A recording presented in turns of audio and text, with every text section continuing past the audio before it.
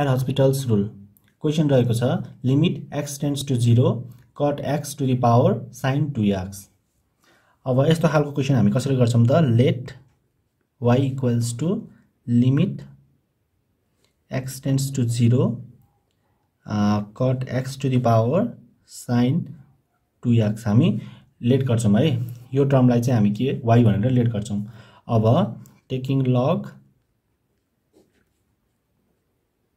on both sides log लिन्छौँ है के हुने भयो त लग वाइ इक्वल्स टु के हुने भयो त यतापट्टि log cot x to the power sine two x हुने भयो है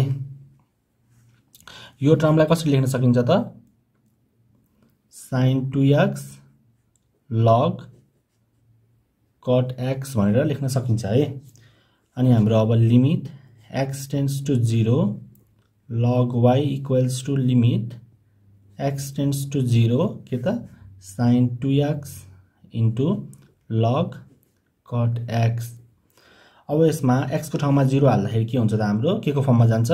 जिरो इन्टु इन्फिनिटीको फर्ममा जाने भयो होइन? अब हामीले यसमा एल हस्पिटल रुल युज गर्न सक्दैनौँ। किन किन त? हामीले एल हस्पिटल रुल चाहिँ कस्तो बेला मात्रै युज गर्न सक्छौँ त? कि त जिरो बाई जिरोको फर्ममा हुनु पऱ्यो कि त इन्फिनिटी बाई इन्फिनिटीको फर्ममा हुनु पऱ्यो अब यो sine two x into cot log cot एक्सलाई हामी कि त जिरो बाई जिरोको फर्ममा लान्छौँ कि त इन्फिनिटी बाई इन्फिनिटीको फर्ममा लान्छौँ है त?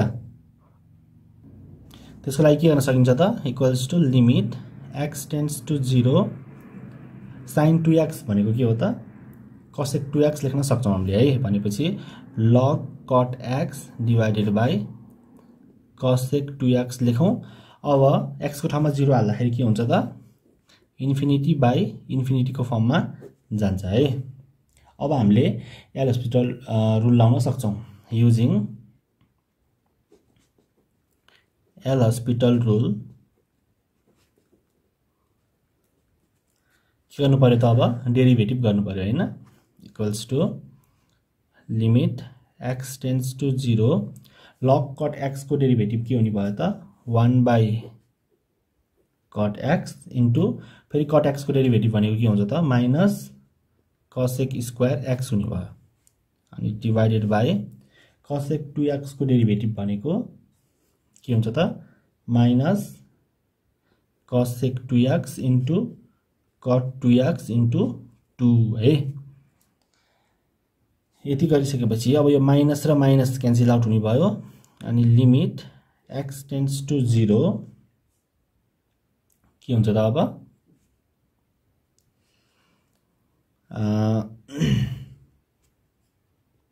सबैलाई साइन र कसको फर्ममा लग्ने है त? वान बाई कट एक्स भनेको हामीले के लेख्न सक्छौँ त? One by cos x by sine x लेख्न सक्छौँ त्यो भनेको sine x by cos x त्यसै गरी कसेक स्क्वायर एक्स भनेको one by sine square x है? अनि divided by cosec two x भनेको one by sine two x हुने भयो कट टु एक्स भनेको cos two x by sine two x into two छँदैछ है? अनि अब equals to limit x tends to zero sine x र sign square एक्सको एउटा साइन एक्स क्यान्सल आउट हुने भयो है। अनि अब के हुन्छ त? यो टर्मलाई माथि लग्थ्यौँ है।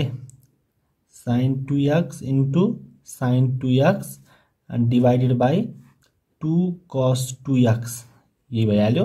अनि यो कस एक्स र साइन एक्स कस एक्स र साइन एक्स तल लेखौँ।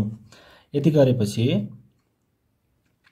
limit x tends to zero sine two x into sine two x divided by cos two x होइन?